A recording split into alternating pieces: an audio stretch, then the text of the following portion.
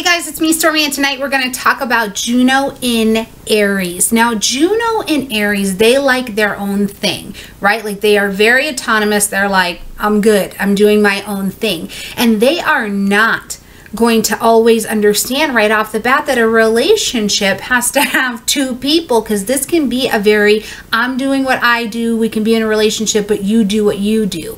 But at the same time, one of the things that they tend to like about that is that they like to compete with their partners sometimes. And it's actually really interesting when we look at all of the physical things that Juno can also represent um, within an individual. When they don't have a lot of autonomy or a lot of individuality, in relationships, they tend to get things like migraines or they'll have other physical ailments that actually present themselves and um, pose physical challenges. So it's really interesting.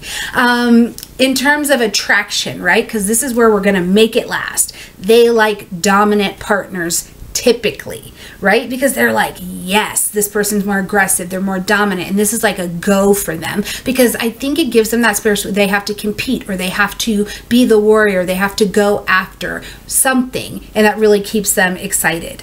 Um, in terms of looking at they don't always feel like they need to be the boss, but sometimes in that aggressive dominant space, they do like partners that want to be the boss, right? Like they could have a mate who's super successful and just absolutely gangster, and that would be a really attractive thing for them.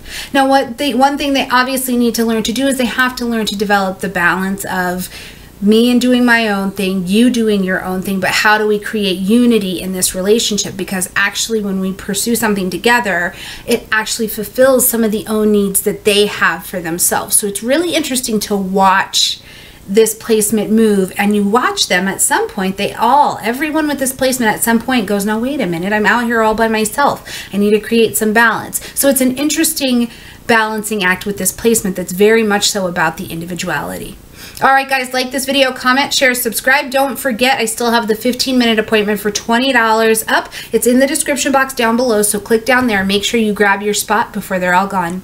I love you guys. See you tomorrow. Hey, thanks so much for watching my video and stopping by my channel. I hope you like the video, comment, share, definitely subscribe because we're doing 90 videos in 90 days on this channel. New learning content every single day, a minimum of one video every day. So I hope to see you back tomorrow. Bye.